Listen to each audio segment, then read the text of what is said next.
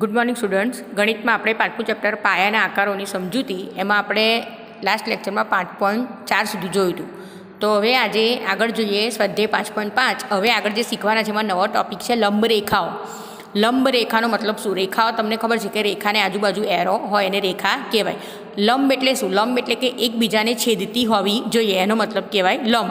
એટલે કે લંબ રેખાઓ. તો આ લંબ રેખાની આકૃતિ છે. પ્લસ જેવી તમારી આકૃતિ આવે, એને કહેવાય લંબ. લંબ એટલે શું? કે એકબીજાને છેદે.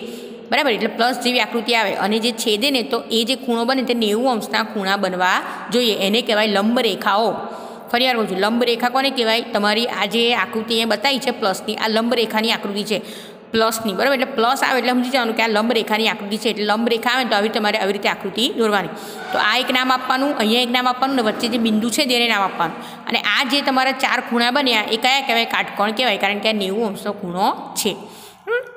હવે આગળ છે દાખલો નંબર એક, કે નીચેનામાંથી કઈ પ્રતિકૃતિઓ લંબરેખાઓ દર્શાવે છે? પ્રતિકૃતિઓ એટલે શું? એટલે કે અમુક બધા વસ્તુના નામ આપ્યા છે, એમાંથી કઈ કઈ લંબરેખા દર્શાવે છે તમારે કહેવાનું છે.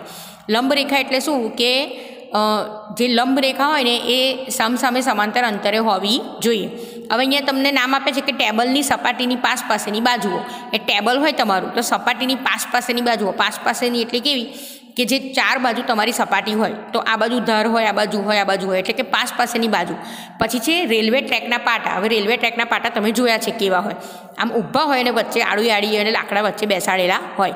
પછી છે મૂળાક્ષર એલ એટલે કે એલ જે તમે લોકો લખો છો, આલ્ફાબેટ. તો એલની રચના દર્શાવતો રેખાખંડ અને મૂળાક્ષર વી તો આ જે મૂળાક્ષર વી છે, બરાબર? તો આવી રીતે વી દોરેલો હોય તો વીને એકબીજાને કોઈ કોઈ છેદતું નથી. એટલે કે નેવું અંશ બનતો નથી. તો એ રેખાખંડ એ શું કહેવાય? લંબ રેખા કહેવાય નહીં. પછી છે બી તો રેલવે ટ્રેકના પાટા. એ બી ના કહેવાય. પણ આ જે મૂળાક્ષર એલ છે, એ એલ તમે દોરો તો એ નેવું અંશનો ખૂણો બને એટલે લંબરેખા કહેવાય.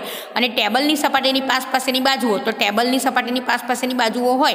બરાબર? ફોર એક્ઝામ્પલ આ ટેબલ છે. તો આ ટેબલની જે આ ધર છે, તો આ ધર છે, તો અહીંયા શું થયું? તમારો નેવું અંશનો ખૂણો બન્યો. એટલે આ જે ધર છે, આ પાસ પાસેની બાજુ હોય, તે શું થાય? નેવું અંશનો તમારો ખૂણો બને. એટલે એને શું કહેવાય? લંબરેખા કહેવાય. એટલે અહીંયા ખાલી તમારે આ એ અને સીમાં ટીક કરવાનું છે. પછી બીજો દાખલો છે કે રેખાખંડ પીક્યુ અને એક્સ વાયને લંબ રેખાખંડ છે. એટલે તમારે આ પ્રમાણે તમારે શું કરવાનું? આકૃતિ દોરવાની. તો અહીંયા લંબ રેખાની એક આકૃતિ દોરી છે કે રેખાખંડ પી ક્યુ અને રેખાખંડ એક્સ વાય એ લંબ રેખાખંડ છે. એટલે તો પ્લસની આકૃતિ આવે. અને લખ્યું કે જે પી ક્યુ અને રેખાખંડ એક્સ વાય એ બિંદુએ છેદે છે. તો એ બિંદુ એટલે વચ્ચે ડોટ કરીને અહીંયા એ બિંદુ લખવાનું.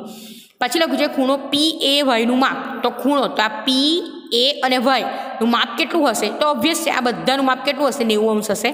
કારણ કે આ શું કરે? કાટ ખૂણે છેદે છે. એટલે એનું માપ કેટલું હશે? નેવું અંશ હશે. બરાબર? હવે પાંચ પોઈન્ટ પાંચમાં તમને ચોપડીમાં અહીંયા તમને બે દાખલા કરવાના છે નોટમાં. સ્વાધ્યાય પાંચ પોઈન્ટમાં. પહેલો અને બીજો. ત્રીજો અને ચોથો કરવાનો નથી. બરાબર? હવે આગળ આપણે જઈએ સ્વાધ્યાય પાંચ પોઈન્ટ છમાં તો એમાં એ શીખતા પહેલાં આ જે તમારી માહિતી છે એ તમારે નોટબુકમાં લખવાની છે તમને ફોટો પાડીને મોકલી. હવે આમાં શું છે કે ખૂણાને આધારે કેટલા પ્રકાર છે અને બાજુના આધારે ત્રિકોણના કેટલા પ્રકાર છે? એ પહેલાં ખબર હોવી જોઈએ. તો કે ખૂણાને આધારે કેટલા નામ છે? તો ખૂણાને આધારે કાટકોણ, ગુરુકોણ ને લઘુકોણ. આ તમને ખબર છે. ચોથા ધોરણમાં તમે શીખી ગયા. કાટકોણ નેવું અંશનો હોય, ગુરુકોણ નેવું અંશ કરતાં મોટો હોય અને લઘુકોણ નેવું અંશ કરતાં નાનો હોય. તો આ ખૂણાને આધારે ત્રિકોણના નામ આવ્યા ખૂણાને આધારે કહે તો કાટકોણ, ગુરુકોણ અને લઘુકોણ. પણ બાજુને આધારે કહે તો એ પાછા અલગ છે. તો બાજુને આધારે ત્રણ ત્રિકોણના નામ. તો વિષમ બાજુ ત્રિકોણ, સમદ્વી બાજુ ત્રિકોણ અને સમબાજુ ત્રિકોણ. આ બી તમને લગભગ ચોથામાં આવતું હતું. વિષમ બાજુ એટલે શું? વિષમ. વિષમનો મતલબ શું? કે કોઈ બાજુ સરખી હોય નહીં. એટલે વિષમ બાજુનો મતલબ વ્યાખ્યા જેવી છે કે જે ત્રિકોણની ત્રણ બાજુઓ સરખી ન હોય તેને વિષમ બાજુ ત્રિકોણ કહેવાય. વિષમ, જે ત્રિકોણ તમે દોરો છો, એ ત્રિકોણની ત્રણેય બાજુ કેવી હોવી જોઈએ? સરખી હોવી જોઈએ નહીં. એટલે ફોર એક્ઝામ્પલ એક પાંચ સેમીની હોય, એક ચાર સેમીની હોય, એક ત્રણ સેમીની હોય, એટલે કે એક પણ બાજુ સરખી હોવી જોઈએ નહીં. એને કહેવાય વિષમ બાજુ. જે સમદ્વી બાજુ, સમદ્વી, સમ એટલે સરખી અને દ્વિ એટલે બે. એટલે કે જે ત્રિકોણની બે બાજુ તમારી સરખી હોવી જોઈએ અને એક બાજુ સરખી હોવી જોઈએ નહીં. તો એને કયો ત્રિકોણ કહેવાય? સમદ્વી બાજુ ત્રિકોણ કહેવાય. એટલે કે જે ત્રિકોણના બે બાજુ સરખા હોય, તેને સમદ્વી બાજુ ત્રિકોણ કહેવાય. પછી એ સમ બાજુ ત્રિકોણ. સમ એટલે કે સરખી, એટલે કે ત્રણે ત્રણ બાજુ. તો જે ત્રિકોણની ત્રણેય બાજુ સરખી હોય, એને સમ બાજુ ત્રિકોણ કહેવાય. એટલે વ્યાખ્યાઓ યાદ રાખજો. તો ખૂણાને આધારે ત્રિકોણના પ્રકાર ત્રણ આવે. કાટકોણ, ગુરુકોણ અને લઘુકોણ. અને બાજુના આધારે ત્રિકોણના નામ કયા આવે? વિષમ બાજુ, સમદ્વી બાજુ અને સમ બાજુ. એટલે આ તમારે હું તમને ફોટા પાડીને મોકલીશ, તો આ તમે તમારી નોટબુકમાં જે આ છે તે તમે લખી લેજો. બરાબર? હવે આપણે જઈએ સ્વાધ્યાય પાંચ પોઈન્ટ છમાં આ પાંચ પોઈન્ટ છ છે ને, આ તમારે ચોપડીમાં જ લખવાનો છે. આ તમારે નોટમાં લખવાનો નથી. બરાબર? ચાલો, હવે તો અહીંયા પહેલું છે કે નીચે આપેલા ત્રિકોણના પ્રકારના નામ આપો. હવે આ તમારે ખાલી એની બાજુમાં લખી દેવાનું કે વિષમ બાજુ છે, સમ બાજુ છે. અહીંયા મેં શોર્ટમાં લખ્યું છે, તમારે આખું લખી દેવાનું. તો અહીંયા છે કે સાત સેમી, આઠ સેમી અને નવ સેમી બાજુઓના માપ ધરાવતો ત્રિકોણ. હવે ત્રણેય માપ કેવા છે? અલગ અલગ. તો આ કયો કહેવાય? વિષમ બાજુ તમારો ત્રિકોણ કહેવાય. એટલે તમારે આવી રીતે લખી દેવાનું કે વિષમ બાજુ ત્રિકોણ. આવી રીતે તમારે અહીંયા બાજુમાં લખી દે. અને એક હું લખું છું, બીજા તમારી જાતે લખજો. ચાલો પછી કે ત્રિકોણ એબીસી જેમાં એબી બરાબર આઠ પોઈન્ટ સાત સેમી એસી સાત સેમી અને બીસી છ સેમી છે. આ પણ ત્રણે ત્રણ માપ કેવા છે? અલગ અલગ. તો એ કયું આવશે? વિષમ બાજુ ત્રિકોણ. પછી છે ત્રિકોણ પીક્યુઆર કે જેમાં પીક્યુ બરાબર ક્યુઆર બરાબર પીઆર બરાબર પાંચ સેમી. બરાબર એટલાનો મતલબ શું? કે આ જેવું જ આ છે ને આ જેવું જ આ છે. બરાબર એટલે શું કે આ બધી વસ્તુ સરખી છે. તો એનું એક જ માપ આપ્યું છે પાંચ સેમી. તમને એવું થશે, મેડમ, ત્રણ માપ તો આપ્યા નહીં, તો ત્રણે ત્રણ સરખી કેવી રીતે થાય? પણ એક જ માપ આપ્યું છે, પણ વચ્ચે ઇઝ ઇક્વલ ટુ કરેલું છે. ઇઝ ઇક્વલ ટુનો મતલબ શું? કે બધા માપ સરખા. તો બધા માપ સરખા હોય તે કયો બાજુ કહેવાય? સમ બાજુ. પછી છે કે ત્રિકોણ ડીઈ એફ જેમાં માપ ખૂણો ડી બરાબર નેવું અંશ છે.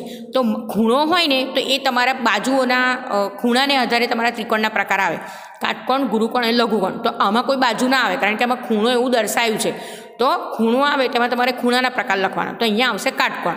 પછી ત્રિકોણ એક્સ વાય ઝેડમાં માપ ખૂણો વાય બરાબર નેવું ઓમ્સ અને એક્સ વાય બરાબર વાય ઝેડ. એટલે એક્સ વાય બરાબર વાય ઝેડ એટલે એક ખૂણો તમને ખૂણો વાય નેવું ઓમ્સ આપ્યો છે. એટલે કાટખૂણો આવે, પણ બાજુઓની એક્સ વાય બરાબર વાય ઝેડ આપી છે. એટલે આ બે બાજુ સરખી કહેવાય. તો બે બાજુ સરખી હોય, તો કઈ બાજુ આવે? તો સમજવી બાજુ. પછી છે કે ત્રિકોણ એલ એમ એનમાં એલ બરાબર ત્રીસ અંશ એમ બરાબર સિત્તેર અંશ ને એન બરાબર એંસી અંશ. તો આ ત્રણે ત્રણ ખૂણાના માપ કેવા છે? અલગ અલગ. તો આ કયું આવશે? વિષમ બાજુ ત્રિકોણ. પછી જે જોડકા જોડોમાં કે ત્રિકોણના માપ અને ત્રિકોણના પ્રકાર છે. તો કે ત્રણેય બાજુઓના માપ સરખા હોય તો એ સમ બાજુ. પછી બે બાજુના માપ સરખા હોય તો સમજવી બાજુ. બધી બાજુઓના માપ ભિન્ન હોય તો વિષમ બાજુ. પછી ત્રણ લઘુકોણ હોય તો લઘુકોણ ત્રિકોણ. એક કાટકોણ હોય તો કાટકોણ ત્રિકોણ. એક ગુરુકોણ હોય તો ગુરુકોણ ત્રિકોણ. ને બે બાજુઓ સરખી અને એક કાટખૂણો હોય તો કાટખૂણો ધરાવતો સમજવી બાજુ. એટલે કે એક કાટખૂણો હોય અને બે બાજુ સરખી હોય. તો એને શું કહેવાય? કાટખૂણો ધરાવતો સમજવી બાજુ.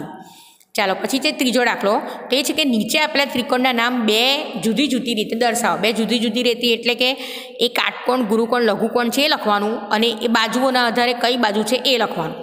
તો આમાં બી તમારે એની અંદર જ લખી દેવાનું. તો હવે પહેલો ત્રિકોણ છે, તો એમાં આઠ સેમી, પાંચ સેમી પાંચ સેમી આપેલું છે. એટલે કે બે બાજુ સરખી છે. તો એક તો સમજવી બાજુ ત્રિકોણ કહેવાય. પણ ખૂણાને આધારે ત્રિકોણના પ્રકારમાં કયો કહેવાય? તો કે લઘુકોણ. કારણ કે આ માપ કેવું છે? નાનું છે. બરાબર? એટલે કયો કહેવાય? લઘુકોણ કહેવાય. પછી આમાં હવે રીતે સીધી લાઈન છે. એટલે કાટકોણ તો તમને ખબર પડી જ જશે. એટલે આ કાટકોણ છે. પણ ત્રણે ત્રણ બાજુ અલગ અલગ છે. એટલે વિષમ બાજુ. પછી આમાં ગુરુકોણ છે. આ નેવું અંશ કરતાં મોટો છે ખૂણો. તો ગુરુકોણ અને બે બાજુ સરખી એટલે કે સમધવી બાજુ. પછી આગળનું છે દસ દસ એટલે બે બાજુ સરખી એટલે સમધવી બાજુ. પણ કાટખૂણો છે. એટલે અહીંયા કેટલા આવશે? તમારો કાટખૂણો પ્રકારનું આવશે. પછી અહીંયા પાંચ પોઈન્ટ બે બધી બાજુ સરખી છે. એટલે સમ સમધવી બાજુ. અને ખૂણાના આધારે કયો? નાનો ખૂણો છે. બધા નાના ખૂણા બને તો લઘુકોણ આવશે.